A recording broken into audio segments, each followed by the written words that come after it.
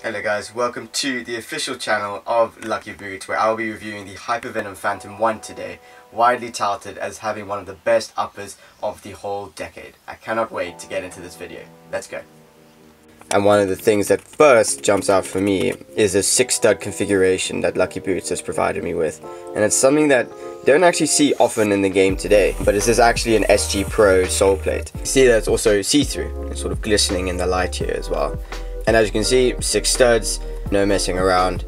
And what it actually means is that this sort of glass plate where the studs sit on, and that's actually separate from the insole of the boots. First things I want to notice is this honeycomb upper, as it's been described. Fantastic upper, it's actually been voted one of the most popular and best uppers of the last decade.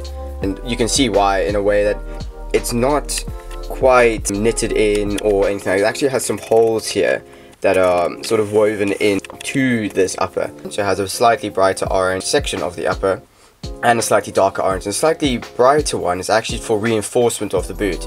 So it's slightly thicker, slightly more glossed over, and it's in order to reinforce these parts of the boot. So you can see it comes along here with this lovely Nike swoosh, comes along with the black skull from the Hypervenom, and it actually reinforces down here as well in order to just give this part of the boot a little bit more protection from getting damaged or ripped during the season.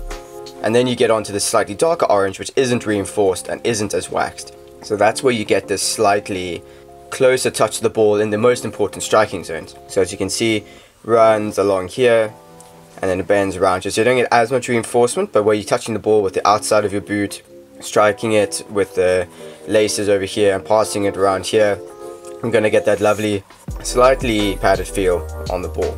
And then what that also brings me to is you can see that's highlighted here is a slightly off-center lacing system here. What this means is that gives you a little bit more striking area over here to strike this ball. As you can see here, Nike swoosh coming along, no padding here, no reinforcement here, and just this nice textured upper from this honeycomb design. And you can see on the laces here coming across to give you that larger striking zone and then opposite lacing so they're completely opposite each other the lacing holes so there's no crisscross in that sense. And this lets me come on to the tongue as well as you can see here. Slightly bobbly slightly bobbly here and slightly bobbly here. So it's the same sort of textured upper as the upper itself but what this means is that it prevents slippage. So it catches along the same similar pattern here as you can see on the inside of the boot and stops the tongue from changing side to side with your boot here side to side. So there's no tongue slippage as a result. And then this brings me on to the inside of the boot. And as you can see the light is actually coming through the boot slightly when you get onto the inner just around here. And it continues on throughout the boot. It's actually a synthetically kind of suede material as seen on the Vapor 13 and allows you just a bit more roughage so that your foot doesn't slip around as well as the perforated so you can see the little holes with the hypervenom logo there insert so that then your feet are still allowed to breathe as well as being separate from that sole plate to relieve the stud pressure. Then something that I'm not the biggest fan of is this back is that it's a neoprene sort of ankle guard and it isn't textured as you find in the modern day boots so it isn't as accommodating or as sort of locked into your ankle but nonetheless it still provides a relatively comfortable fit around here. So you can see that even though that's not something I'm the biggest fan of, I prefer a suede liner. It's still something that can attach and sort of stop your feet from slipping because I can feel right here there's a little bit of gradient just to latch onto your ankle at the back over here. And as you move around the boot you can see the detailing, Nike crossbones, Nike swoosh, you can see the Hypervenom logo is just right here beautifully focused in time. And then we move on to the sole plate. So you can see that's a six stud pattern because of the SG Pro that I've mentioned. And you can see these slightly elevated parts of the studs as well. So slightly elevated parts are able to give you that bit more traction when you're making those quick turns on the pitch. So you've got this pick here right at the top I can show you just dropping here. and you've got a pick here as well and then you've got an almost arrow shape in the middle here and that's mainly to emphasize when you're bending the boot just like that.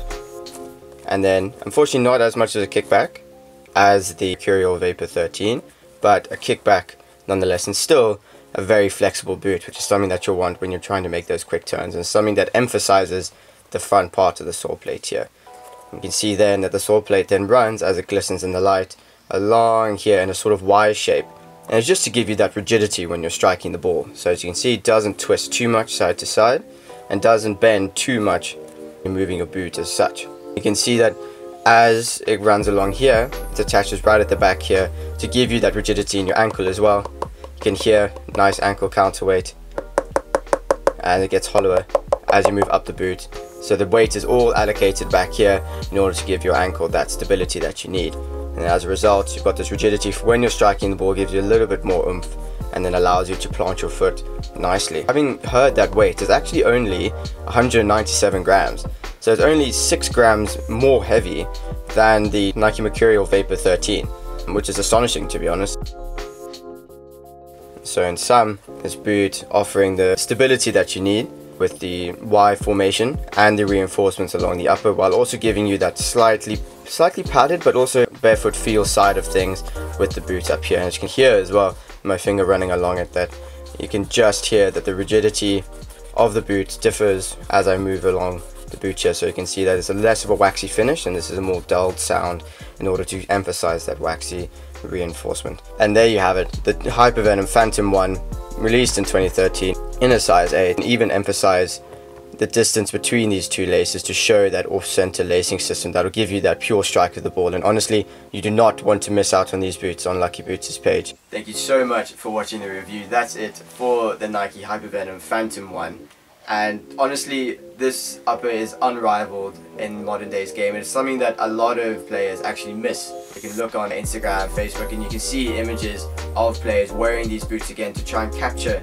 that upper that the boots offer this honeycomb lovely waxy kind of feel that players love and crave. So please stay tuned and like and subscribe to lucky boots boot channel and i will see you in the next video